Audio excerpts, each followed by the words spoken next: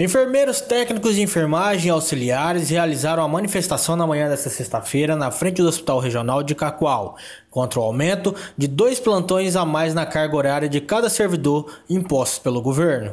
A gente está orientando a população que é relacionado à, à questão do ponto eletrônico, né, que o secretário de saúde anda falando na mídia, que nós somos contra a implantação do ponto eletrônico. Deixar bem claro aqui que a, o sindicato e os profissionais de enfermagem não são contra a implantação do ponto eletrônico. Nós somos a favor. somos contra a questão de é, completar o 14º e o 15º plantão, onde isso é completamente ilegal. Então, nossa reivindicação, uma das principais é essa, relacionada ao 14º e ao 15º plantão. E também outras reivindicações, que é a questão da insalubridade, que não está sendo pago, nosso salário está congelado há mais de 12 anos, a questão do é, do nosso ambiente de trabalho, que é completamente inadequado. Tem locais onde os colegas de enfermagem, que é o exemplo João Paulo II, eles trabalham no local completamente insalubre.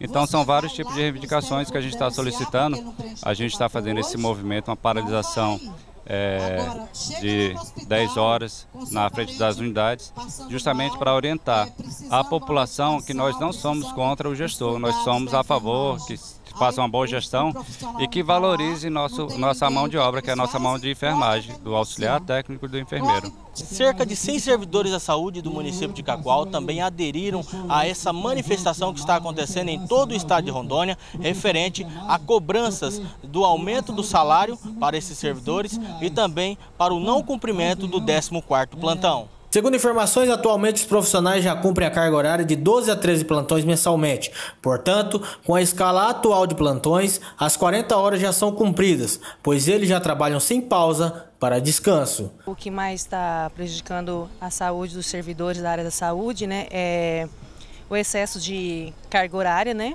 que nós já cumprimos 12 plantões mensalmente. E o número de funcionários é reduzido, né? É, por exemplo, mesmo no meu setor onde eu trabalho, todos os dias não é, fica internado no, no, mínimo 30 pacientes, né? É, com três técnicos de enfermagem, um enfermeiro, é impossível prestar uma assistência de enfermagem de qualidade. A população está sendo prejudicada. Imagine agora que o governador quer acrescentar o 13º, 14º ou até o 15º plantão. Isso é desumano.